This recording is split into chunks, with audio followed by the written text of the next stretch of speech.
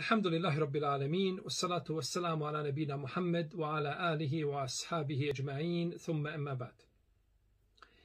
Mi smo u našem zadnjem predavanju stali kod pitanja stavljanja mushafa pored mejta u kabur. U određenim podnebljima gdje žive muslimani praktikuje se da kada musliman preseli da se u kabur da se pored njega stavi mushaf. Ovaj postupak nije ispravan i nije dozvoljeno prakticirati ga, iako Mejit oporučio da se tako postupi, jer je njegova oporuka u koliziji s praksom najboljih muslimana. Mnogi su ashabi umirali pred nekoga od ashaba stavljen mushaf, tako tabini, tako muslimani kroz generacije. Pa to nije ispravan postupak i ne treba ga, znači ne treba ga prakticirati. A, islamski učenjaci smatraju a, čak a, neispravnim i zabranjenim da se ispisuju kuranski ajeti po kefinima u koje je umotan mejit. A nema sumnje da je stavljanje mushafa u kabur ispisivanja ajeta po kefinima.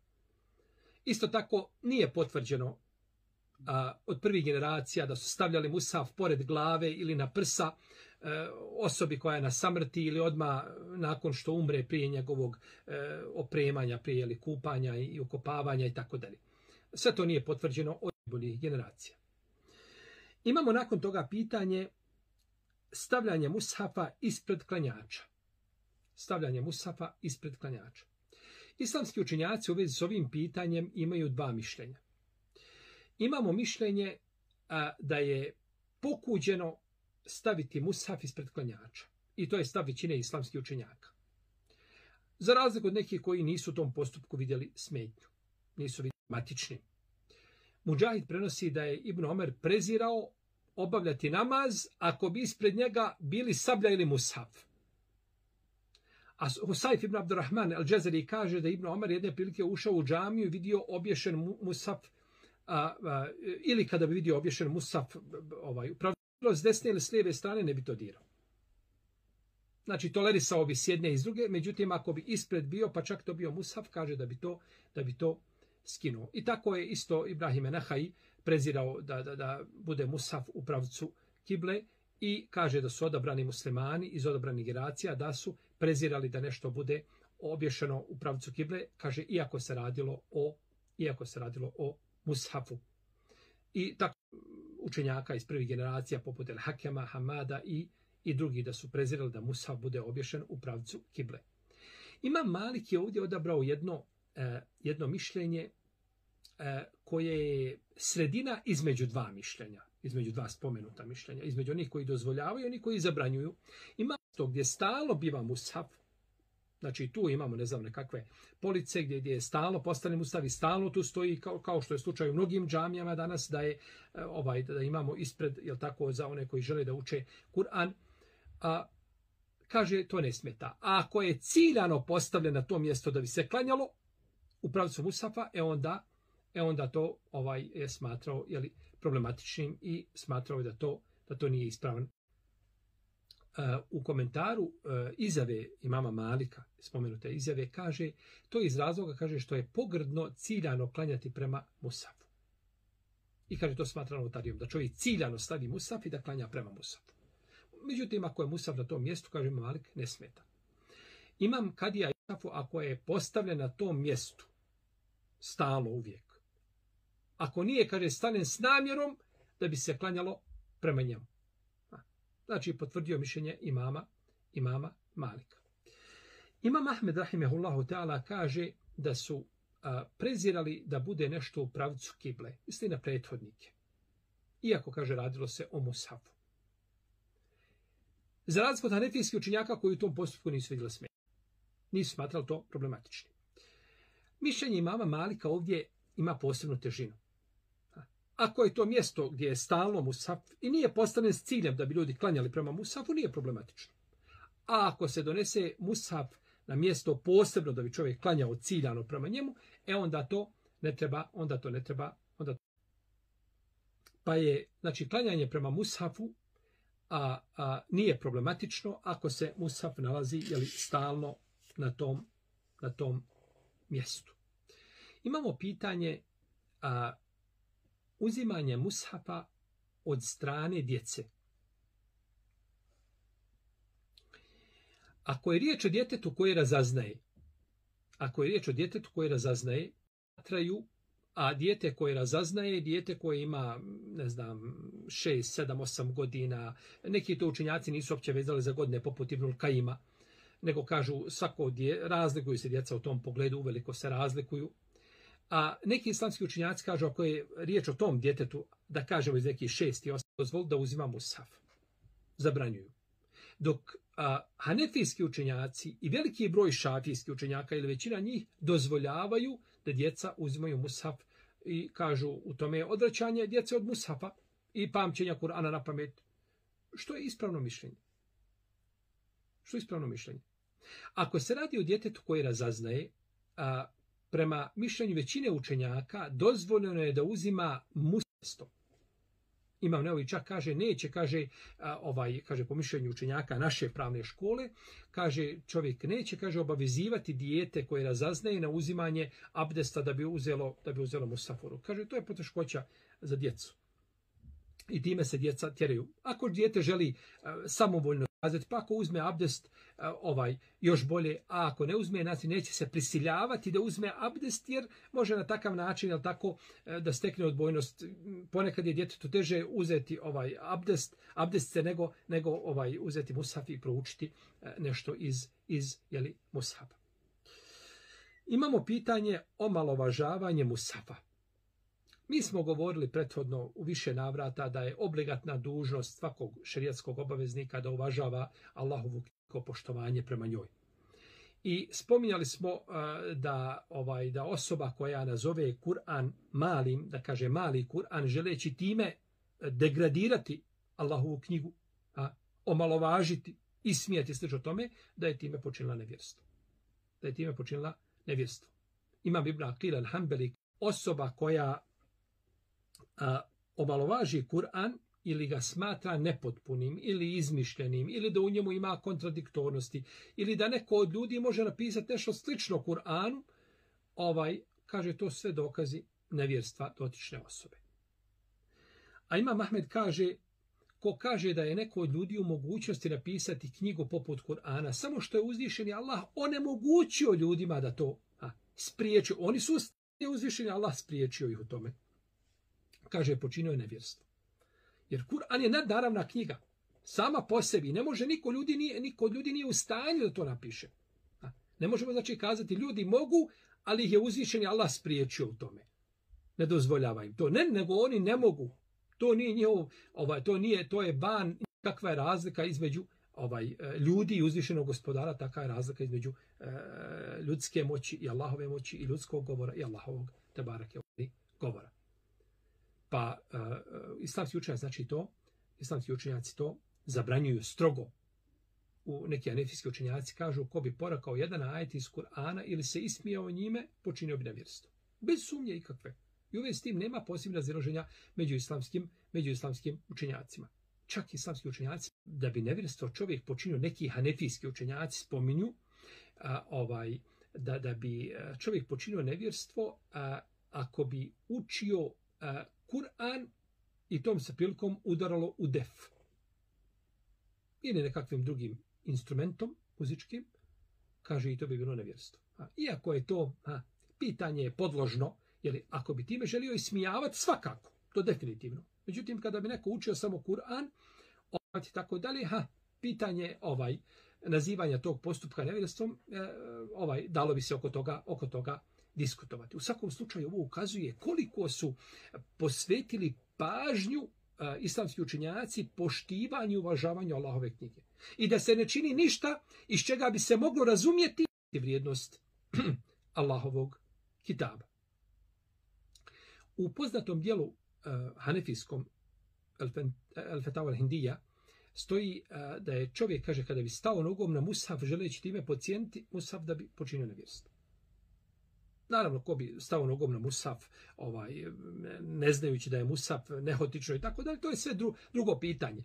Ali namjerno da to čini, to je, to je Musaf. Velikoj enciklopediji kuvajtskoj, fikskoj, kaže se, islamski pravnici su, kaže, složni u pogledu toga da je ne, nevjerstvo počinio onaj ko se ismija mushafom ili nekim od kuranskih ajeta. Ili ko porekne neko slovo iz, ili ja, ja sam propis i slično tome. Znači, oko toga nema branjeno na bilo koji način a, poreći nešto iz Allahove knjige i da je zabranjeno na bilo koji način ismijavati se sa mushafom, baciti mushaf u smeće, o čemu smo prethodno govorili, ili nešto, ili nešto a, a, slično tome. Jer je musliman znači, dužan da uvažava Allahovu knjigu, da je poštuje i ne smije činiti ništa što umanjuje vrijednost Allahove, Allahove knjige. Imamo stavljanje nečega na mushaf. Stavljanje nečega na mushaf. Nema smetnje staviti mushafe jedan preko drugog. To nije problematično. Da se stave mushaf jedan preko drugi, u tome nema nikakve zapreke. Međutim, nije pohvalno staviti nešto drugo na mushaf. U islamskoj knjizi, fikskoj, hadijskoj, e, koja, e, ne znam, tretira tematiku sire i tako dalje, ne treba staviti ništa na, na. Imam a, Hakime Tirmizi kaže potpuno poštivanje Kur'ana ogleda se u tome da se na njega ne stavljaju bilo kakve knjige. I da on bude iznad drugih knjiga. A imam El Bejheqi reći o etici i lijepom obhođenju prema, Kur'anu, između ostalog kaže da se ne stavlja neka druga knjiga ili odjeća na musaf. Osim da se stavi musaf jedan na drugi, kaže to je to, to nije problematično. Imamo tri mushafa, četiri mushafa, ima mushafe u kartonima, pa da stavimo jedne na druge, nije problematično. Ali da vidimo da islamski učenjaci da nisu ovaj smatrali takav postupak ovaj pohvalni. Imam Ibn Nuđaim, Hanefi, veliki hanefijski pravnik, kaže pokuđeno je staviti pernicu u kojoj su olovke na islamsku knjigu. Osim ako se kaže želi nešto pisati. Ja Allah. Ja Allah. Znači, da se stavlja nešto na islamsku knjigu, Naravno, ovo je mišljenje islamskog učenjaka, velikana umeta. Međutim, pogledajte kako su oni pristupali, kako su oni uvažavali islamsku literaturu. Pa ako je po Ibnu Džejmu pokuđeno staviti pernicu na, na, na, ovaj, na islamske knjige, šta je onda sa stavljanjem nečega na musaf? Nema sumnje da je to onda ovaj e, e, još ovaj problematika. Rahimahullahu ta'ala. Potom imamo pitanje uzimanje mushafa lijevom rukom. Uzimanje mushafa lijevom rukom. Allahu poslanik sallallahu sallam je koristio desnu ruku za lijepe postupke.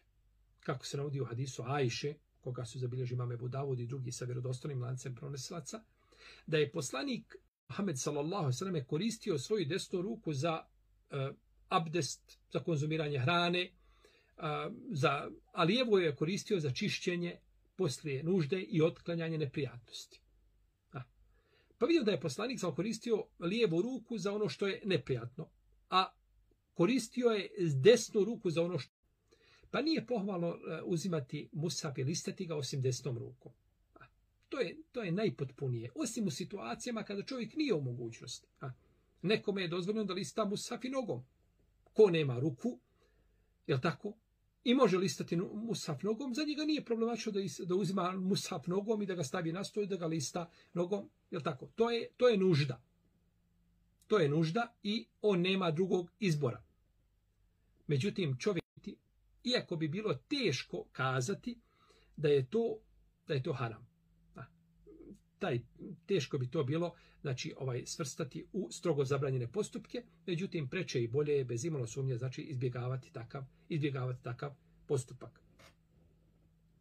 Imam El Gazali kaže koja lijevom rukom uzme mushaf a desnom ukloni čistoću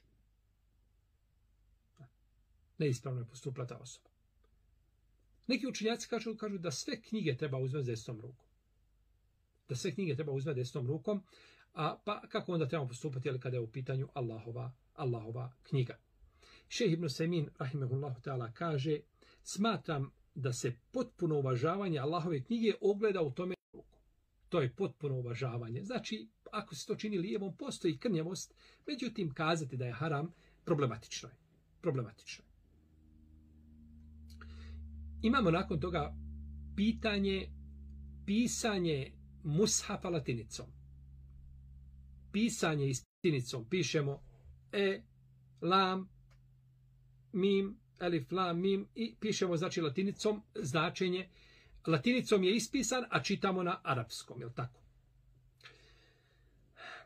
Mushaf će se prema mišljenju a, većine islamskih učenjaka pisati isključivo prema a, primjerku Musafa iz vremena Osmana radijallahu ta'ala. Kako je napisano. Imam Ešeb je upitao imama Malika da li je dozvoljeno pisati Musaf drugim pismom. Odgovorio je nije dozvoljeno osim na način kako je pisan u prvo vrijeme Musaf sakupljen u vrijeme Osmana radijallahu ta'ala anhu.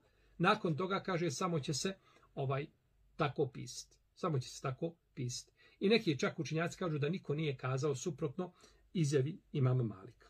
Ovome što rekao imam Malik. A ima Mahmed rahimehullahu ta'ala kaže, zabranjeno je, kaže, ispisivati mushaf drugačije ime Osmana radijallahu ta'ala anhu. Nije dozvoljeno, kaže, drugačije pisati slova elif, ni wow, ni lam. Kako je napisan u to vrijeme, kaže, treba ga tako, treba ga tako pisati.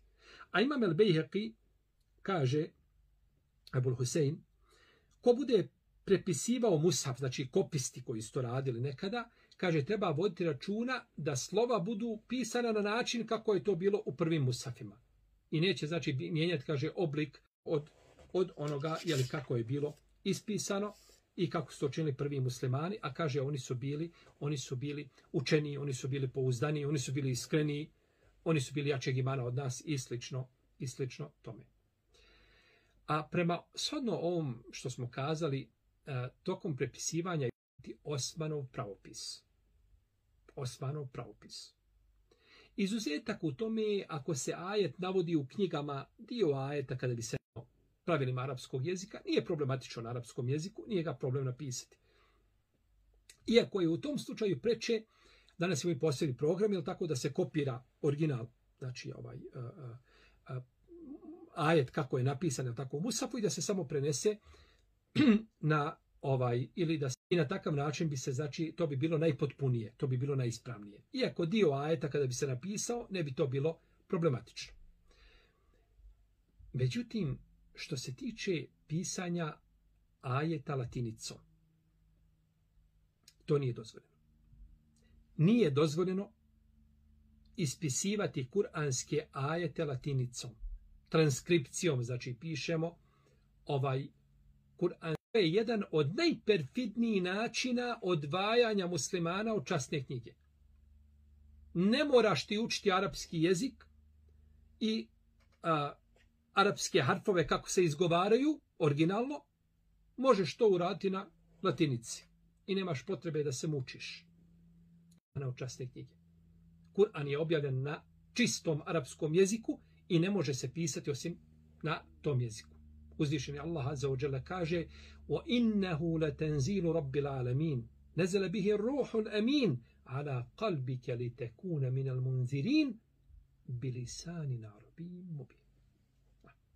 I to je, kaže uzvišeni Allah, i to je sigurno objava gospodara svjetova, donosi ga poje da opominješ, da opominješ. Bilisani na arabijin mubin na jasnom arapskom jeziku. To je, to je znači ovaj, to je ono što se treba slijediti. A kažu da su osnivači četiri pravne škole i njihovi sledbenici složni u pogledu toga da je prilikom prepisivanja Kur'ana dužno slijediti osmanov rukopis, te da je haram pisati ga nearapskim izrazima.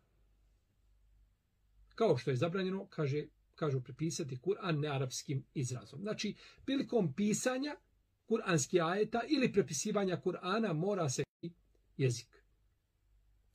A šejh Imam Zurkani kaže, naši učenjaci, to jeste malikijski pravnici, su, kaže, upozorili na opasnost pisanja Kur'ana nearapskim stojima. Upozorili su na, na to da se Kur'an piše nearapskim stojima. Kolegi za izdavanje pravnih decidija pri El Azharu upitan je da li je dozvoljeno pisati Kur'an latiničnim slovima. Pa su kazali latinična slova, kažu, bez sumnje ne mogu nadomjesti arapske harfove. Budući da se ovaj da postoji skupina harfova koji nema u drugim jezicima, nema u latiničnom pismu. Te se ne može na osnovu toga kazati, kažu pisanjem Kur'ana latinicom dolazi do nepotpunog, do nerazumljivog značenja. A ljudi su dužni čuvati Kur'an od bilo kakvih izmjena, promjena, e, iskrivljavanja i tako dalje. Kažu dalje, učenjaci iz prvih i potonjih generacija složni su u pogledu toga da je izmjeni i iskrivljivanju kuranskog originala. Od vremena ashaba do današnjeg dana a, to se pisalo isključivo, a Kur'an se pisao isključivo arapskim, arapskim slojem.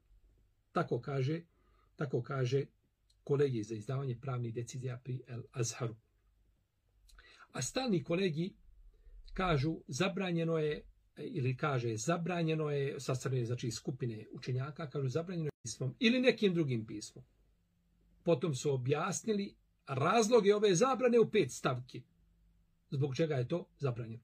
I mnogi drugi kažu da je to zabranjeno, a poput kolegija islamskog prava u Mekki, Egipatske akademije za pravne decizije, a kolegiji u Kairu pre Lazharu, vijeće za, vijeće za izučavanje pirajeta u Damasku i drugi, svi oni smatraju da je zabranjeno pisati, ispisivati mushaf latiničnim pismom. Da to nije, da to nije dozvoljeno. I često to možemo vidjeti, jel tako, da je ispisana određena sura ili e, određeni odlomak iz Kur'ana, latinica, ovaj transkripcija, međutim transkripcijom pisati ne.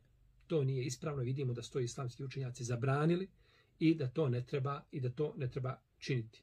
I to, to će ljude na neki način postaći, stimulisati, da ne kažemo natjerati, da uče arapsko pismo, znači da nauče učiti original, a, jeli, onako kako je Kur'an, jeli, nakon toga imamo pitanje ostavljanje mushafa otvorenog. da li je dozvoljeno ostaviti mushaf nakon čitanja da ostane otvoren? Ako se radi o kratkoj pauzi, čovjek ustao da se napije vode, ne znam, da klanja pa će se vrati, učiti slično tome, nije problematično da Mustafa ostane otvoren kako jeste. U protivno, ako se radi o završenom, eh, o završenom uh, učenju u pauzi, onda je preče Mushaf zatvoriti preče mushaf zatvoriti u tom slučaju. A kažu uh, uh, imam el Hakim, Tirmizi i el Kurtobi, kaže od potpunog uvažavanja mushafa i lijepog opuđena prema mushafu smatra se da, da ga je lijepo zatvoriti nakon čitanja, da se zatvori. Međutim, ne dolazi to do stepena. Čak pitanje mekruha, ovaj, ni do tog stepena. Bolje, naj, ovdje najbolje kazati da je to preče i bolje ako je duži vremenski period da se mu sav zatvori, da se odloži na, na, na adekvatno mjesto, u protivnom ili da se ostavi na stolu o tome, a ako je pauza kraća da ne smeta, znači da musaf ostane otvoren, iako neko ko bi ostavio musaf otvoren duži vremenski period, prenoćio musaf tako pa sutra uči, ne možemo ukazati učinio šerijetski prijestup. Ne možemo, jer nemamo za to. Nakon toga imamo pitanje da li je uh, dozvoljeno uh, kupovati mushafe u boji. Propis kupovine mushafa u boji. Nema smetnje kupiti mushaf u boji, naročito ako je mushaf, uh, ako je koji je u boji ciljano. Radi teđvijski pravila i slično tome. Iako je naj, najpreče da mushaf bude unutra, znači bez boja. Znači da bude jeli, crno-bijeli, ako možemo tako kazati. Znači da nema e, tih boja nekakvih ukrašenih dekoracija nekakva koja može odvesti pozornost i pažnju jeli, e, u čaču. A, međutim, a, nije čovjeku zabranjeno da kupi takav musaf. Ako takav musaf ima, znači sprodaj i da ga on kupi, to e, e, Sjećate se da smo davno nekada govorili ranije e, u vezi sa ukrašavanjem ovaj mushafa i ovaj da, da je većina učenjaka dozvolila da se ukrasi mushaf zlatom i srebrom i tako dalje. Spomnjali smo izjave Budarda i, i drugih koji su to je tako ovaj nisu smatrali pohvalnim i, i Ibn Mesuda koji je rekao mogu ukrasti ovaj čim ljudi mogu ukrasti uh, svoje musafe jeste njegovo ispravno učenje. Međutim ako bi čovjek našao musaf prodaje se musaf ovaj na ovaj ili onaj način nije problematično znači da ga kupi ovaj ili je ovaj znači u boji i slično tome nije problematično znači kupovanje takvog takvog musafa. Pitanje posvete musafa ili pisanja posvete na musaf. Pisanje posvete na musaf. Čovjek poklonio nekome musaf. Može li napisati posvetu na taj musaf? Ebu Horeira radijallahu ta'ala prenosi da je poslanik sa rekao, kaže, vjernik ima nagradu svojih dijela koja ostavi iza sebe. Zdanje koje prenese ili dobro dijete koje ostavi nakon sebe ili musav koji ostavi nekome u nasljeđe. Ili džamiju koju napravi ili e, gradi ili izvor koji ostavi za sebe ili sadaku koju da za svoga života i svoga imetka. Kaže, za sve to ima nagradu posle smrti. Ovako je zabilježio imam Ibn Mađa u svojim sunanima sa dobrim lancem prenosilaca. Znači, može čovjek pokloniti drugoj osobi Musav. To nije problematično. Znači, Međutim, i dozvoljeno je pisati po Musafu na marginama. Recimo na margini da se napiše značenja ajeta. Da se napiše određeno teđinsko pravilo. E, na margini, znači odvojeno od ajeta. Ne unutar Musafa. Unutar, znači, ovaj okvira stranice, nego na margini. Znači, radi nešto što će pomoći bolje Međutim, ne treba pisati posvetu. Niti na korice, niti na, na listove Musafa i tako dalje. Musaf se može pokloniti bez posvete. A ako već mora biti posveta, onda se može uzeti jedna posebna kartica a, na koju će se ispisati posvet i to se priloži uz Musaf. Ispisivanje i pisanje samo znači po Musafu, ne, nečega što nije vezano za, za sami Musaf, tako da to nije pohvalan postupak. I to ne treba, to ne treba, znači, to ne treba činiti.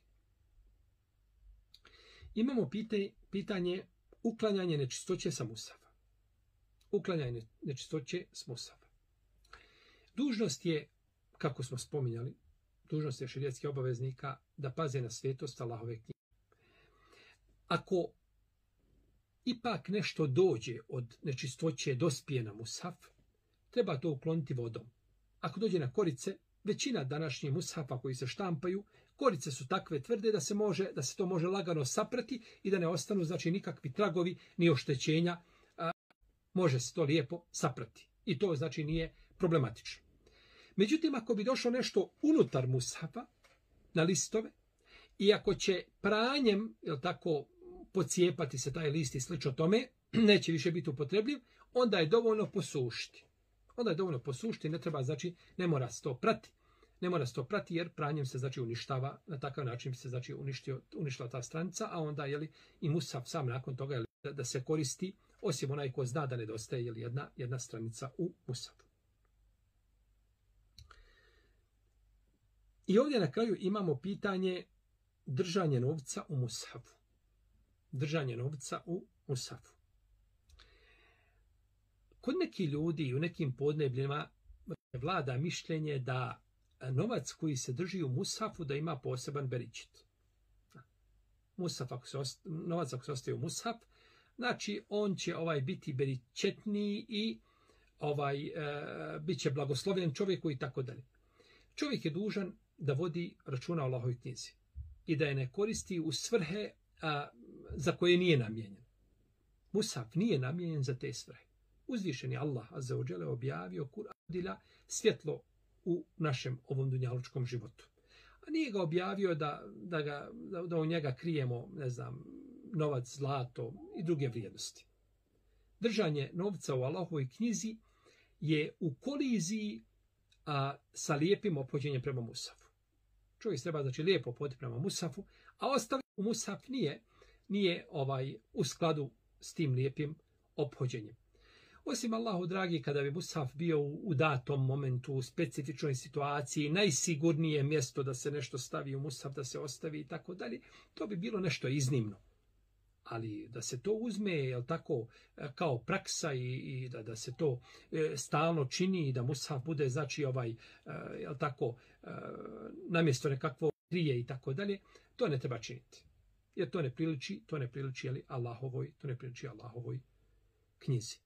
A naročito je problematično ako se smatra da novac koji se drži u Kur'anu pa se vidi da je on, da je on posebno beričetli, onda to je još ovaj problematičnije. To je onda još problematičnije jer uh, ovaj čovjek treba dobiti ovaj uh, beričet u, u njegovom imetku, u njegovoj zaradi prvo da bude halal, potom da, da mu nakon toga imetak bude blagoslovljen, a samo stavljanje i učenjem Kur'ana, jel tako, i postupanjem po Kur'anu, možemo učiniti da nam uzvišeni Allah čitav naš život dunjalučki, pa i metak koji imamo da ga učini, jel tako, blagoslovljeni.